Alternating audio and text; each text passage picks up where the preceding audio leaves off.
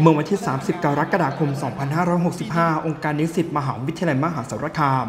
ร่วมกับกองกิจการนิสิตสโมสรนิสิตมหาวิทยาลัยมหาสารคาม จัดกิจกรรม MSU Ambassador 2022 ภายใต้กรอบแนวคิด Gender Equality Movement ณอาคารพระศึกษามหาวิทยาลัยมหาสารคาม โดยมีผู้ช่วยศาสตราจารย์ดรมนรดีชวรัตน์รองอธิการบดีฝ่ายบริหารและพัฒนาศักยภาพองค์กร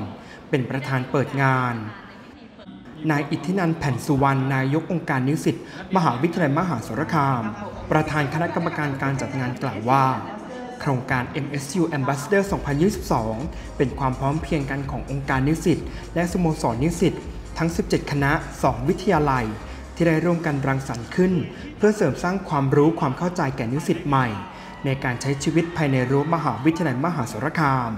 ผ่านกิจกรรมฐานการเรียนรู้ต่างๆ เพื่อเฟ้นหานิสิต ที่มีบุคลิกภาพที่ดี มีความรู้ความสามารถ เป็นแบบอย่างที่ดีให้แก่เพื่อนนิสิตภายในรุ่นเสือดาว 13 พร้อมทั้งเป็นการเปิดพื้นที่ให้ผู้ที่มีความสามารถ กล้าแสดงออก สื่อสารสาธารณะเชิงสร้างสรรค์ และสามารถแก้ไขปัญหาเฉพาะหน้าได้ ตลอดจนเพื่อมุ่งเน้นให้ MSU Ambassador สามารถเป็นกระบอกเสียงที่ขับเคลื่อนสังคม ของมหาวิทยาลัยมหาสารคาม ในด้านความเท่าเทียมทางเพศ กิจกรรมภายในงานมีพิธีมอบรางวัลการออกแบบเสื้อเฟสเมน 2022 รุ่นเสือดาว 13 รางวัลชนะเลิศได้แก่